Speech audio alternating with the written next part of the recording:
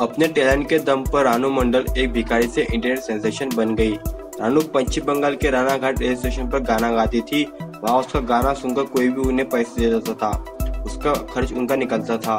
रानू के पास रहने को घर भी नहीं है और वो रेलवे स्टेशन पर रात गुजारती है। अब उनके गाने का वीडियो वायरल होते ही हिमेश रेशमिया ने उन्हें अपनी फ़िल्म एम हार्डी में मौका दिया। इस फ़िल्म के लिए रानू ने गाना भी रिकॉर्ड कर दिया। रिकॉर्ड का वीडियो हिमेश ने अपने सोशल अकाउंट पर शेयर किया।